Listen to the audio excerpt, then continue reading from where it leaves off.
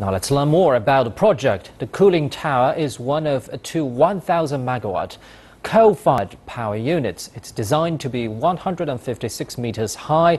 When completed, over 70 meters of the tower had already been built. The budget for the project is 7.7 billion yuan, or about 1 billion US dollars.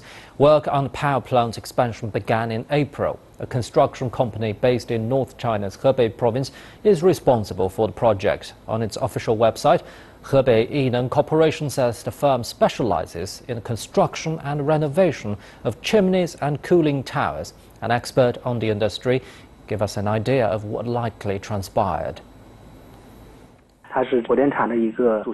Workers stand on the platform to build a cooling tower. Below the platform, we can see there were some channels that were used to transport concrete. When the platform at the top collapsed, it fell upon the channels below and also upon the workers in these channels.